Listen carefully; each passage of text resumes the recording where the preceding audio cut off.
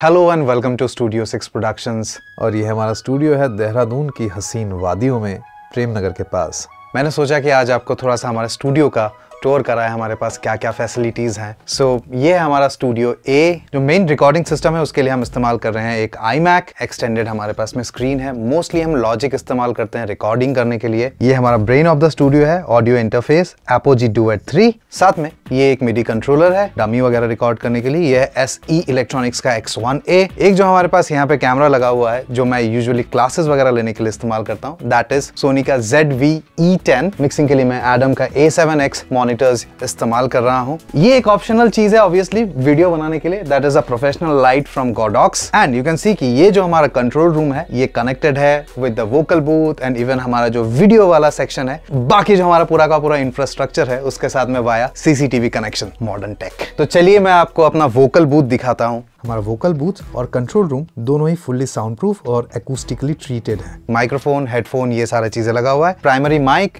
ल्यूविट का 440 ये vocal booth और कंट्रोल रूम केबल कनेक्शन से कनेक्टेड है प्रॉपरली और जो रिकॉर्डिंग आर्टिस्ट है और इंजीनियर एक दूसरे को स्क्रीन के थ्रू और सीसीटीवी कैमरे के थ्रू देख सकते हैं टॉक बैक माइकिंग सिस्टम के थ्रू बातचीत कर सकते हैं। ये सेकेंडरी स्क्रीन है जिसपे मैं जो चाहूँ वो आर्टिस्ट को दिखा सकता हूँ। Also we have this amazing analogue keyboard from Yamaha called Motif XF और हमने पूरी बंदोबस्त कर रखी है कि जो आर्टिस्ट है, उसको प्रॉपर मॉनिटरिंग आए अपने हेडफोन पे जब वो गाता हो, या कुछ भी गिटार वगैरह, कुछ भी रिकॉर्ड कर रहा हो फॉर से। तो आइए, अब मैं आपको जरा सा हमारे वीडियो सेटअप से भी रूबरू करवाता हूँ।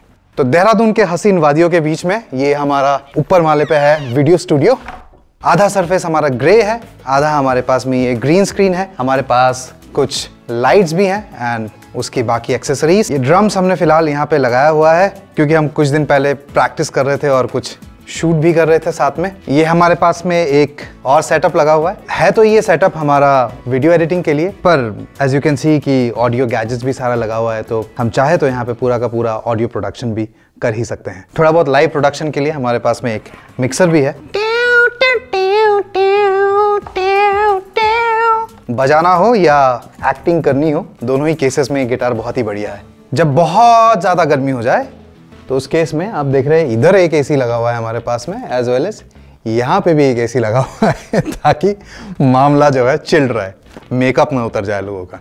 यू सी चालीस साल के इस जीवन काल में ऑलमोस्ट पच्चीस साल से स्ट्रिक्टली म्यूज़िक करते हुए it has been quite a journey और इस वक्त में कई सारे unprofessional semi professional professional setups मैंने बिल्ड किए। और बहुत सारे और प्रोफेशनल्स के साथ में भी काम किया। और इस उम्मीद के साथ कि ये वीडियो आपको किसी ना किसी तरीके से इंस्पायर करता हो हेल्प करता हो मोटिवेट करता हो, मैं अरिजीत साह लेता हूँ आपसे इजाज़त। Thanks for being a part of this journey to be a better musician every day बहुत बहुत धन्यवाद और नमस्कार।